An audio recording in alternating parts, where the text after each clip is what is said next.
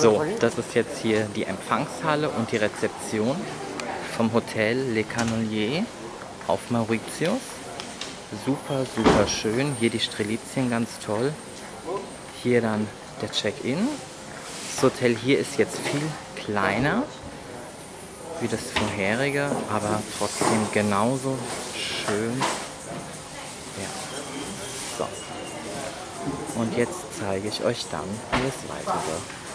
Speisesaal zeige ich euch noch, den Außenbereich und natürlich die verschiedenen Zimmerkategorien.